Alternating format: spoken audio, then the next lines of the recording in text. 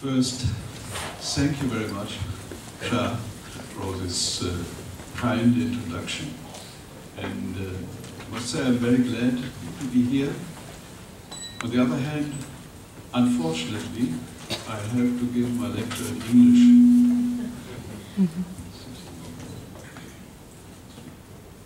In English language, but I will be supported by Wang Zhou Yuan, who will give her own interpretation to what I'm saying. 呃，首先谢谢夏教授呃对我做的介绍，呃，我非常本人非常高兴啊，这次能够来参加这这个社会住宅的工作坊。但是另一方面非常不幸的，我得要用英文来作为我的演说，但是王秋梅小姐会协助我作为翻译。Let me start with a preliminary remark. Not far from here, in Japan, in the moment, hundreds of thousands of people lost their home and became homeless. And even more people are afraid to lose their home in the future, or even their life, due to the disaster at the, uh, the atomic power station in Fuku- uh, Fukushima. 呃，首先啊，我想针对这个日本最近的这个 这个核能电厂这个事件啊，表达一些关注。呃，有许多人在因为这样的事件当中失去了他们的家园啊，然后更有很多人担心，因为接下来可能产生的这个效应啊，他们的生命也会受到很大的的威胁。In view of this disaster, it's a little bit difficult just to stay, start with a lecture about housing. But on the other hand, housing is a key issue of the, our society. 面对这样的一个灾灾灾难啊，其实很难只是从一个住宅的一个角度来来做讨论啊。但是其实住宅却是一个非常关键的一个课题。 The German philosopher Martin Heidegger once said, housing means to stay. And in this way he announced the importance of housing. Housing means in fact the start of the human culture, the start of the human society. 德国著名的哲学家马丁·海德格尔曾经说过，住宅是代表人立足的一个停留的一个权利啊。同样呢，住宅也代表人这个文化发展当中一个非常重要的因子。Uh, in Europe in the 19th century, the housing question was one of the big political questions in this period of industrialization, where millions of people went from the rural areas to the cities to find work, and at the same time found very bad housing conditions. And in this period, uh, Friedrich Engels, the one of the founders of the communist movement, wrote a series of articles with the title About the Housing Question. 在十九世纪工业化的一个过程当中啊，大量的这个移民人口进入城市当中呢，造成了城市住宅的环境大量的这个这个减呃减减低啊。然后这个 Friedrich Engels 曾经讲过，在他的这个有关住宅的这个 呃问题几个问题当中呢，住宅是一个非常重要的一个课题。 And in this framework, he stated the capitalistic system, in nowadays terms, we would say the market, is unable to provide the working class with sufficient and affordable housing, houses. 在他的这个首要这个呃关注当中提到啊，这个资本系统呢，也就是我们现在所提的这个市场机制呢，是没有办法提供这个这个工作就工人阶级呢，呃充足的跟甚至是可以负担的一个住宅。In the following period, the housing question became a key issue in the political debate in Europe, and uh, many European countries started what, with what we now call social housing. 在二十世纪初啊，因为这样的一个一个关注呢，住宅成为在政治议题上一个非常重要的一个一个课题。 And uh, social housing, that means to provide people with a lower income who can't afford to buy a house with houses, rental houses in most cases, for affordable prices and for an acceptable quality. And that also means that from that moment, from the beginning of the 20th century, housing, or better, social housing, became an important task for architects. Architects, the most uh, advanced architects of their time, were thinking about how to provide houses for the working class, how to provide living conditions for the working class, and how to design these conditions. 在这样的一个环境氛围之下呢，社会住宅因此而催生啊。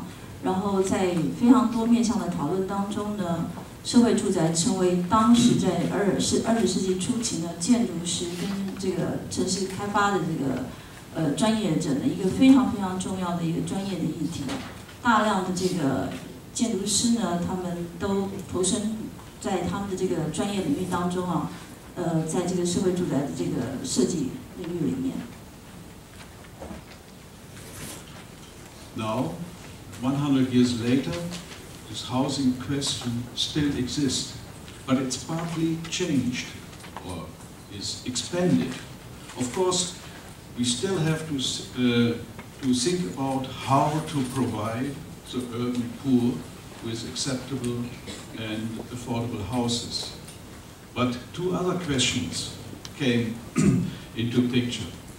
How to combat social contradictions and uh, segregation in the city.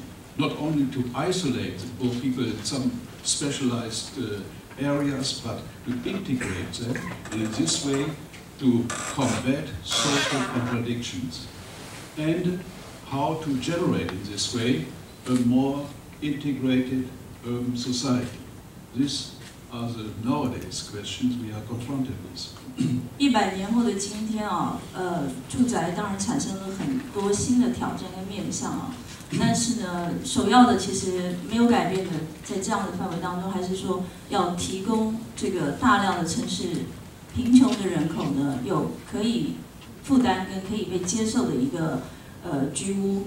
那在这样的面向当中呢，有另外两个新的议题，其实也在呃现在的状况下产生新的挑战。第一个就是说，如何去呃面对呢，在越来越急剧的这个社会的这个冲突啊，跟这个隔离分离当的的这个问题。然后第二个呢，因应这样的问题呢，我们如何能够去创造呢，产生一个更加能够整合的一个这个城市的这个社会。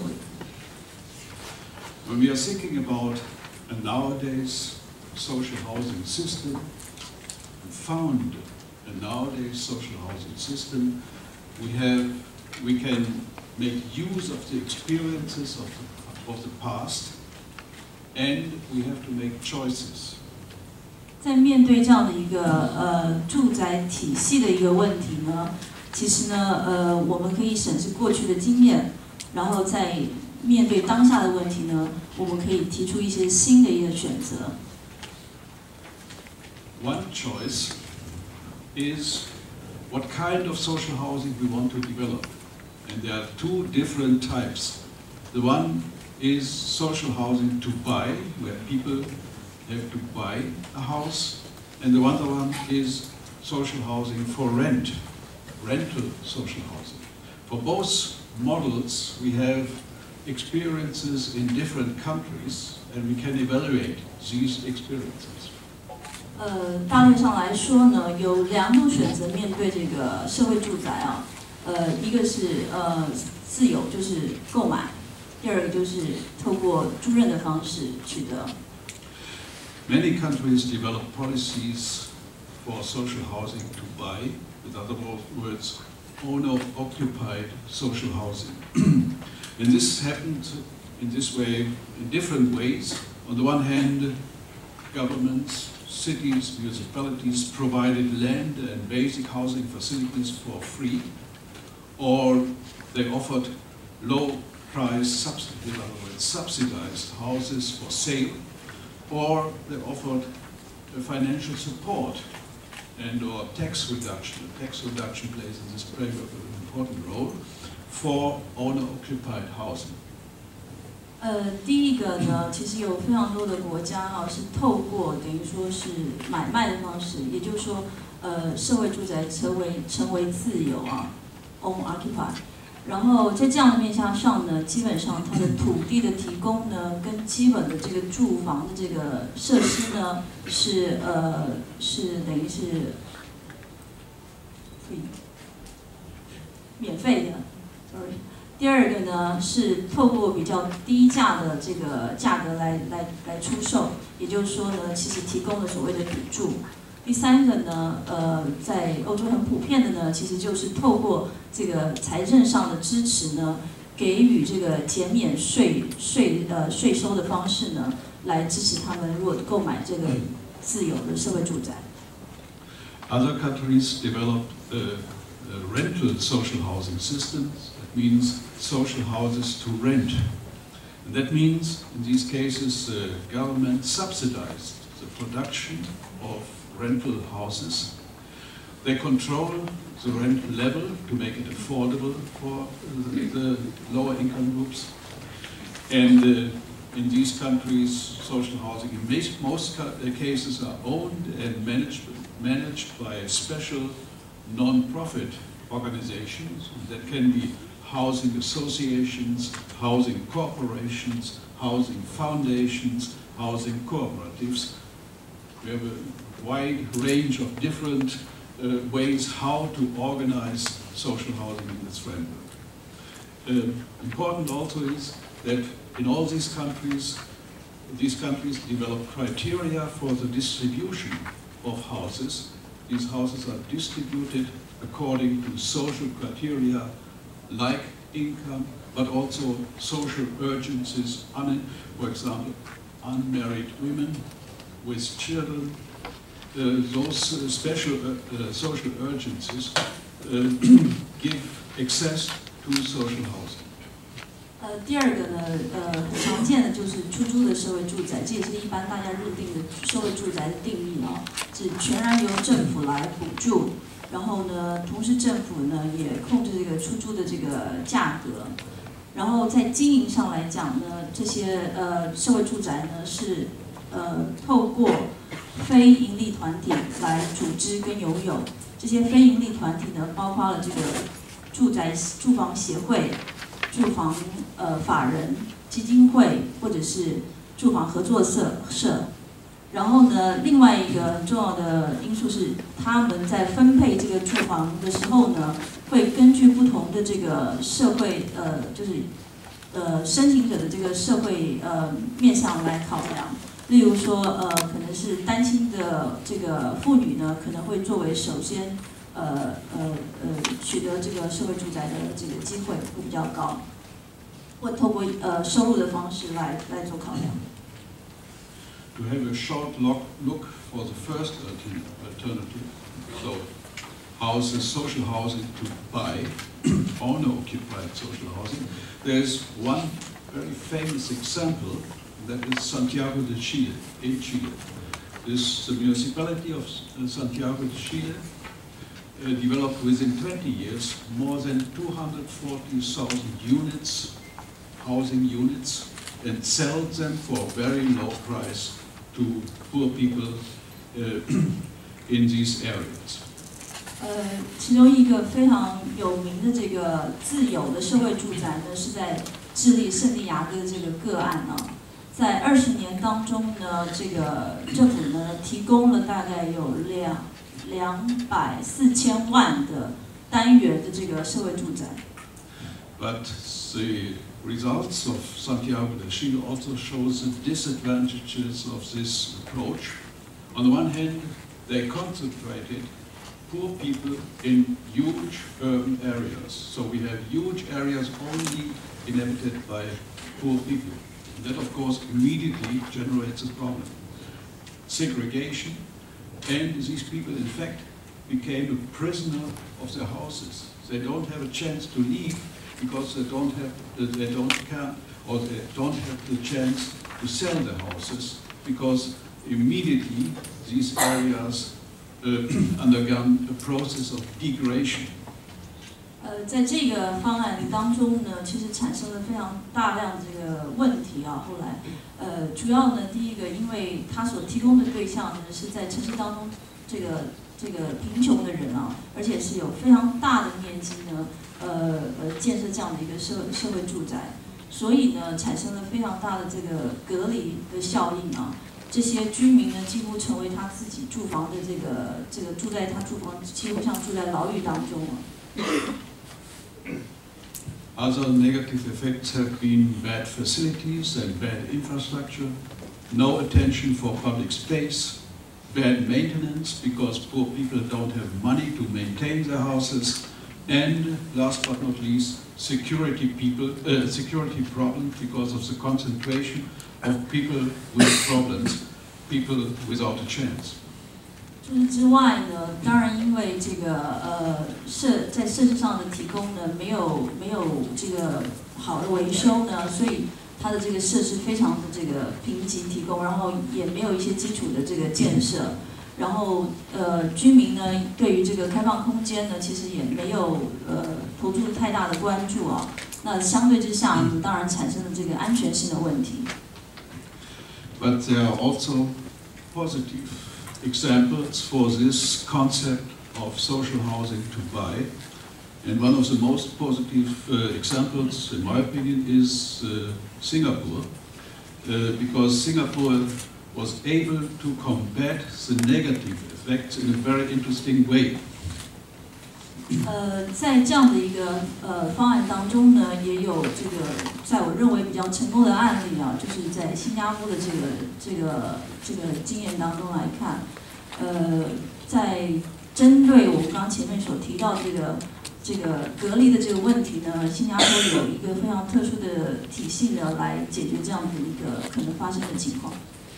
In Singapore, whole townships are developed. with all the facilities uh, and with all the infrastructure that is needed are developed by the so-called Housing Development Board. And this board also take care for the maintenance of these areas for the public space, but also for the houses. And they organize collective, in a collective way, housing improvement, housing modernization. 呃，在新加坡呢，有一个非常重要的一个，比如说 呃，政府的这个机构啊，就是住房发展委员会。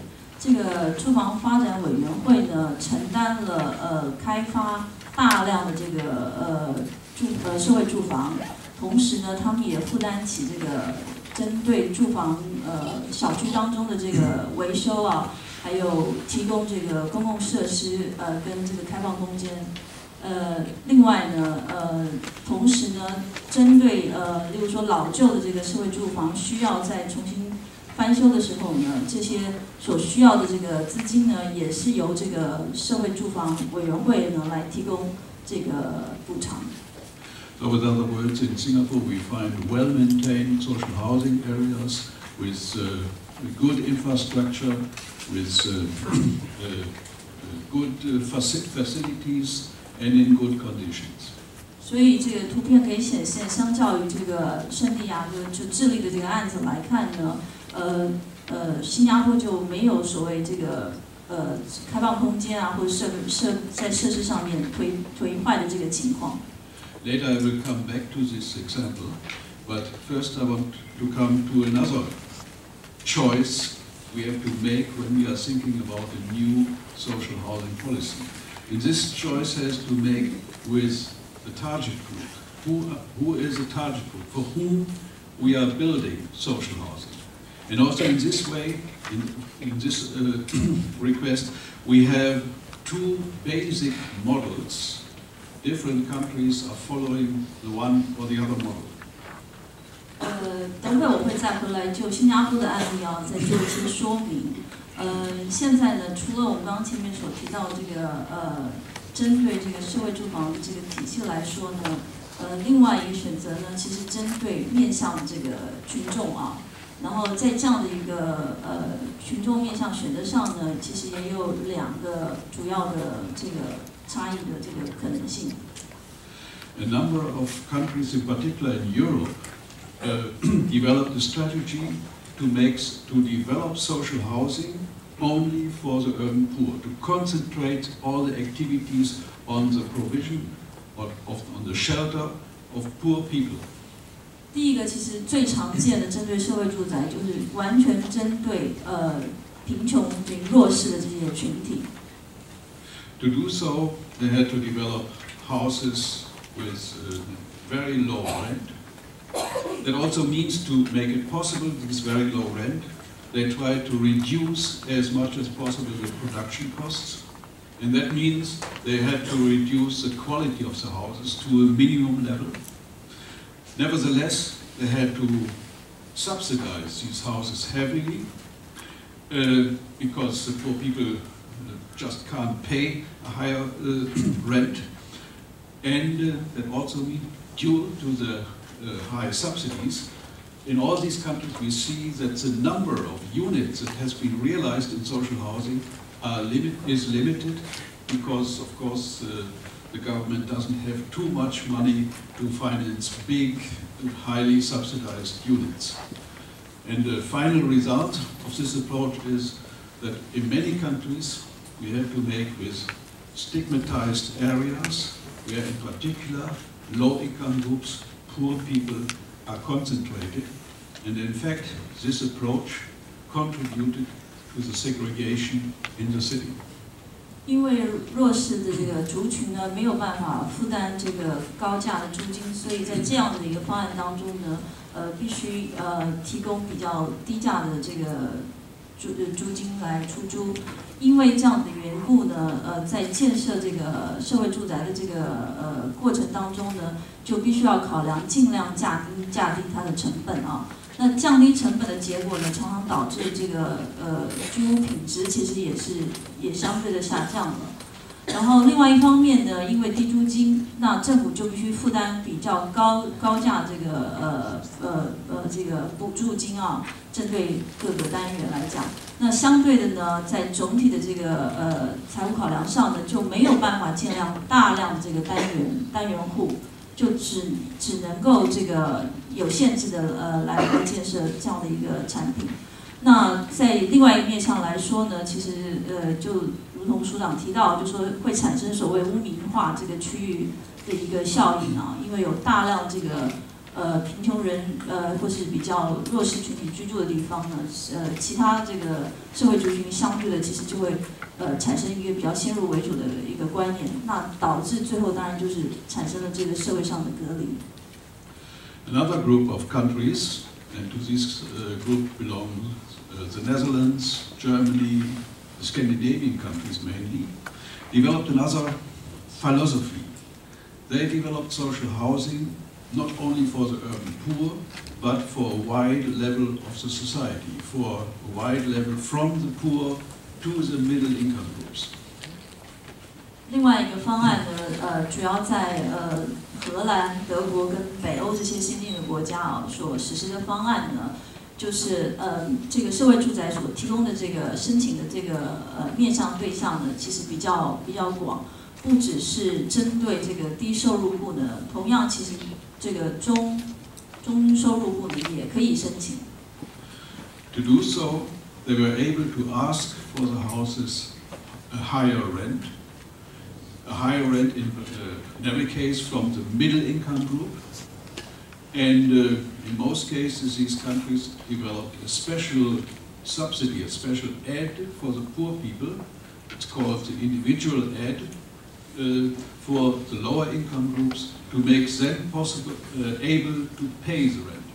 So we have in these cases always a combination of, uh, let's say, middle income, uh, self-supporting um, housing production, and uh, a special aid, a special subsidy, depending from the income subsidy uh, for the lower income groups, for the poor people. 这个方案呢，从总体的这个财政支出来看呢，其实有两个主要的这个呃呃，对，两个主要的这个范围啊。第一个当然就是还是针对这个呃比比较低收入的人呃居民呢，他会提供呃，针对他各自情况本身呢，所提供的这个特殊的这个补助的方案。第二个呢，相较于前面所提到的呢，就是因为中低呃中收入户者呢，可以支付比较呃高一点的这个租金呢，所以从长期来看的话呢，其实在他的整个这个呃收收支之间可以达到平衡。然后这个部分等会他会再讲细节，针对财务的部分，所以这边不多说。Of course, these houses cost more, they have higher costs, because they need a higher quality to make them acceptable for middle income groups. On the other hand, the experience shows that in average, the, the governments were able to realize those higher quality uh, housing areas uh, with lower subsidies per unit because the rent, the, the residents are paying, the tenants are paying, is higher. and that means in these cases, in these countries, all these countries, the governments were able to subsidize a bigger number, a larger number of units. So the percentage of social housing in these countries is higher than in the first approach. Uh, for the cities, on city level, it has also an important result.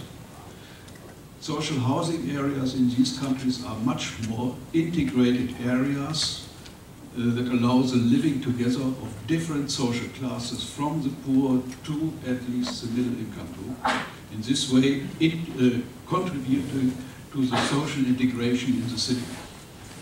因为这个针对中收入户呢所提供的这样这个社会住宅呢，相对的呢也提高了呃这个租金的可能啊，然后 这个租金相对的提高呢，当然也代表这个品质上能够提升。那在总体上来讲呢，针对每个单元的这个呃补助呢，相对的降低，然后对总体来说呢，其实可以建量建建设比较大量的这个大量规模的这个社会住宅。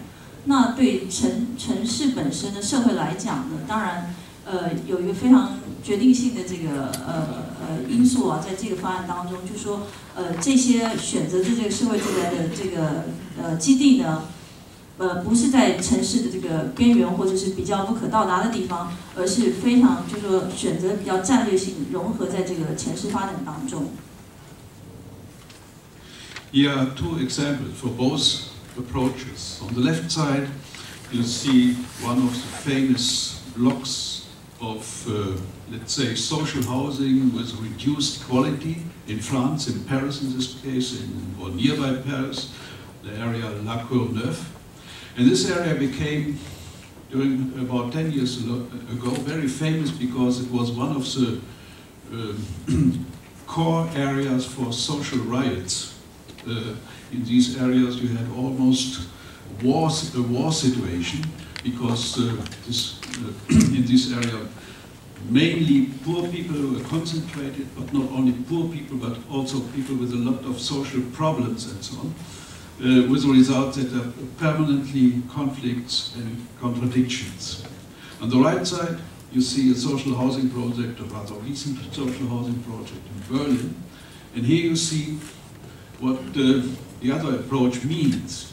A better quality, also very important, much more attention for the design of the houses, and uh, uh in this case also attention for the sustainability, energy uh, provision and so on, Gavi, all these things come together. And in this way, such a complex, such a unit becomes acceptable for middle income groups, but it's also affordable, accessible for the lower income groups.